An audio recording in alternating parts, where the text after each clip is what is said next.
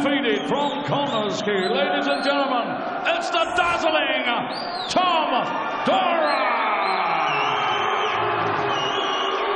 Across the ring, fighting out of the blue corner, wearing the blue trunk strip with white, weight in 11 stone, 7 pounds, 2 ounces, undefeated. 11 contests, 11 wins, 2 inside the scheduled distance from Birmingham. Time to meet Too Slick Craig Cunningham! Once again, the prize fighter draw puts two undefeated fighters together. So, ladies and gentlemen, timekeeper Jamie Kirkpatrick, our referee in charge is Victor Loughlin, and this is three three-minute rounds, quarter-final number four.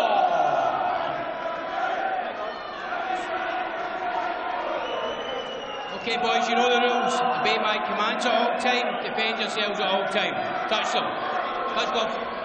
One semi-final spot up for grabs, and the bookies cannot separate these two. Craig Cunningham from Birmingham in the blue, the only southpaw of the group, coming off his best win when he outpointed Prince Davis over 10 to win the Midlands area title in December against a guy who's only had one fight since May 2011. Took three years out, Tom Doran. Came back last May with a six, six-round win over Harry Matthews. And as we've seen so often, you get that first round in the bank, the pressure off a little bit and caught as he came in there, Cunningham. He actually landed a decent left hand of his own, and then just uh, was stumbled back onto his heels. So they, they both look like fighters who like to think a little bit. You know, they're not wild, they're pretty controlled. So I'm wondering uh, if the three rounds is going to be difficult to split these two. They look really well matched. That's the first impressions you get with them.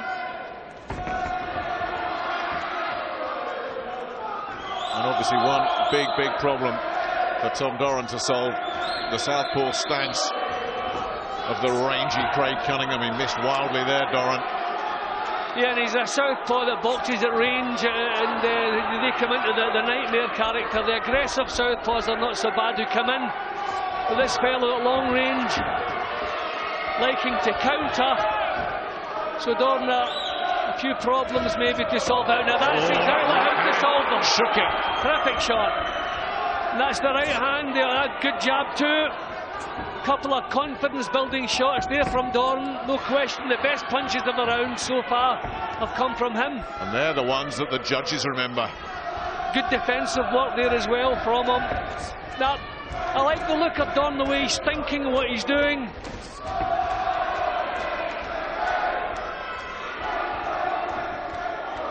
Yeah, he's just picking his moments to get, he's just flitting on the edge of range, just picking his moments to move in. Nice defensive stuff again. Now you're asking for a warning. I mean, that was a punch that should never have been thrown. I think he knew it as soon as he landed yeah, of course he did. Like, come on, I shouldn't have done that.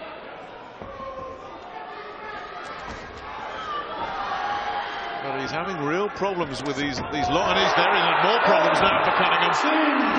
Knocked down as well as he walks on to another counter. I think Cunningham's problems, he's not committing himself to his punches the way he should do, and I think that's why I run into trouble there. Doran is more prepared to commit himself when he decides to go to work. He puts what he's got into it. That was a nice little cuff coming back from Cunningham, but he's been on the floor. And over the three rounds, he knows he has a lot to do. And he will be open to some of those counters now as well. I was just about to say, Jim, before that knockdown, that he's he's been winding up these long left hands, Cunningham, and Doran is seeing them coming. Yeah, and he's, he's not moving in behind the punches. That's the problem. So they're falling short, and they're not difficult to counter. You want to move in behind punches. If they don't land in, you're in a position to, to, to, to nullify what's coming back. You don't want to be reaching. But, I mean, not, not a lot to split them, but the knockdown makes it a big round for Doran. What can Jon Pegg do here? Winning that round to the knockdown, yeah? You've got to win the next two rounds sharp and fast. Every time he makes a mistake, sharp backhand. Nothing silly. Jabs upstairs, jab downstairs, and head movements all the time. We win the next two rounds, we still win the fights, yeah? They'll give it to the guy who wins the two rounds, okay?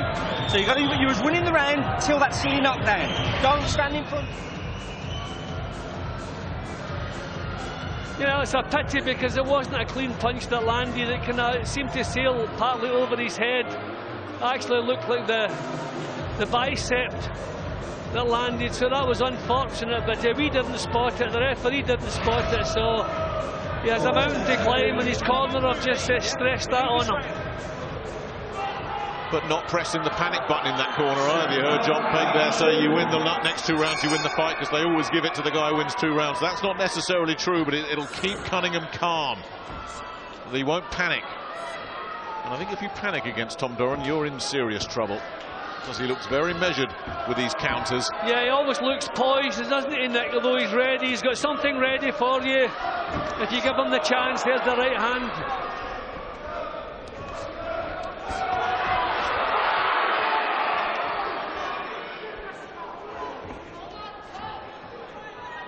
range again. Doran's missing a little bit now.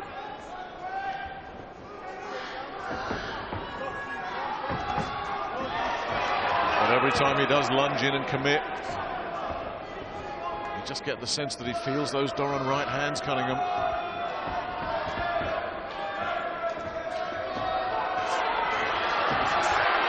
This is a bit better from him.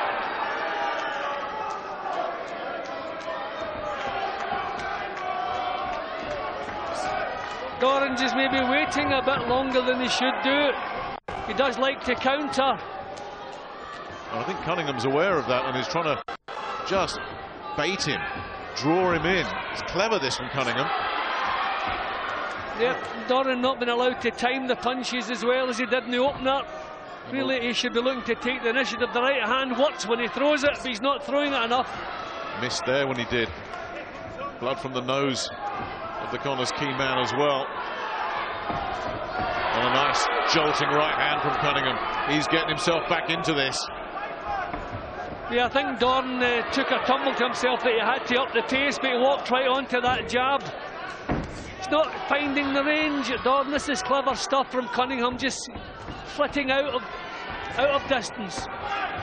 He's made a very, very smart adjustment here, Cunningham not committing himself, not being so open to the counters, and doing some good work with the right hand as well.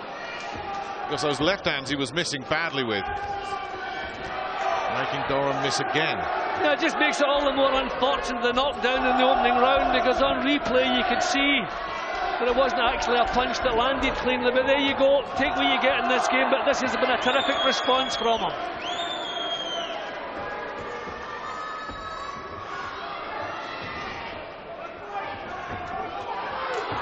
Good work again from Cunningham. Well, it's another one of those, Jim, isn't it? Somebody wins the first round clearly, then the other guys come back and take in the second round. Puts it all on a knife edge. Yeah, well, apart from the opener, I mean, we have really, you know, the, the quarterfinals have been really close affairs.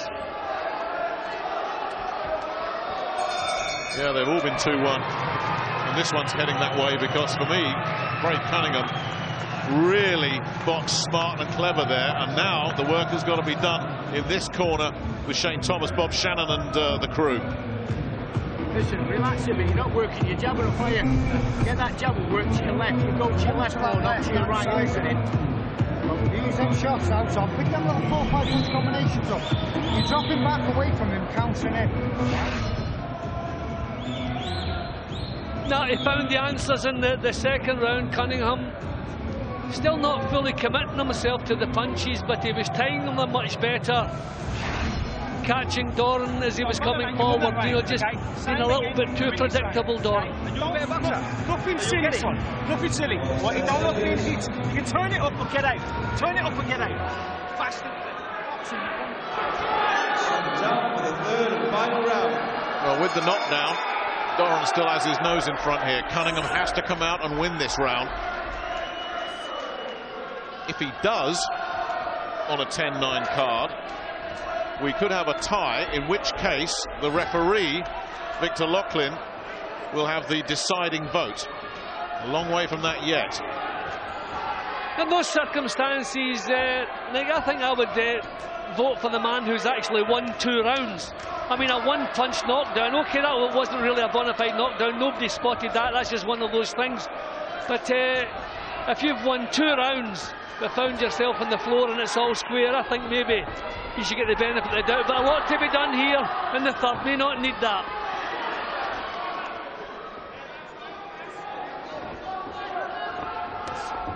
It's such a decision time for both these fellas.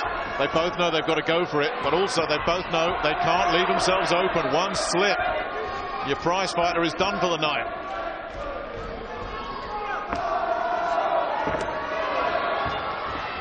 And again, Doran struggling with his range here. I'll be honest, Nick, the, the quality's not great at the moment. You know, the kind of flicking punches, a lot of missed punches, the accuracy not there from either man. But just uh, two styles that haven't quite gelled. But it's certainly close, and that's a little clip again from that southpaw stance from Cunningham. getting caught when he moved in again, Doran.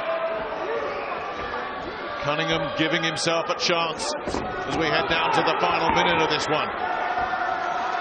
It's so, so hard to come back from being floored in the opening round of prize fighter and winning. But Cunningham's getting close. Doran's not really getting the punches off. He's not getting himself close enough. He should be showing little feints, drawing the lead. He's just marching in straight lines. Needs a bit more imagination.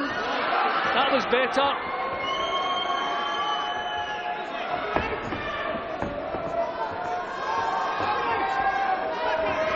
It's still there for one of them. Can somebody make the breakthrough as we tick down to the final 30 seconds of this fourth quarter final? Nice counters. The double jab from Doran.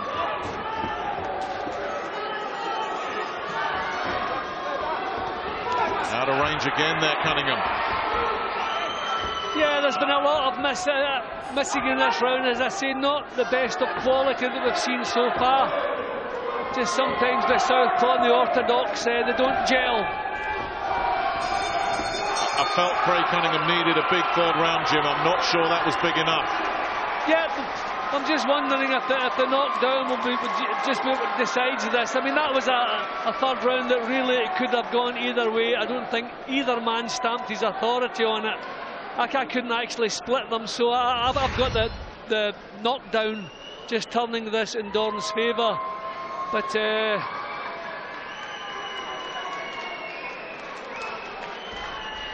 a little bit scrappy. The, the, longer it went, just become a little bit scrappy.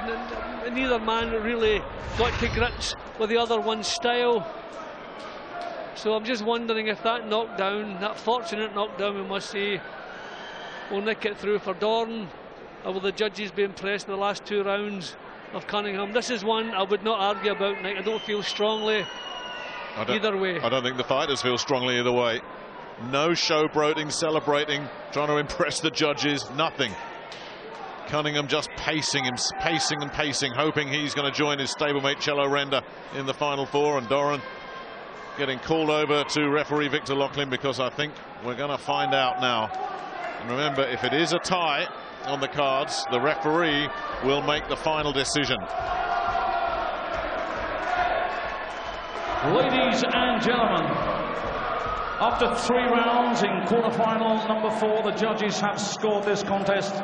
Phil Edwards scores the contest at 30-26, Terry O'Connor 29-27, and Ian John Lewis 29-27. All three judges are in favour of the win and through to semi-final number two to join Luke Keeler. Ladies and gentlemen, your winner from Connah's Quay, it's Tom Doran. Well, there was no suspense there at all because with the knockdown, a 30-26 card gave all three rounds to Tom Doran. I think I quite get that one, but I don't think anyone's going to have too many arguments that Doran's got through, but certainly one of those cards will raise eyebrows.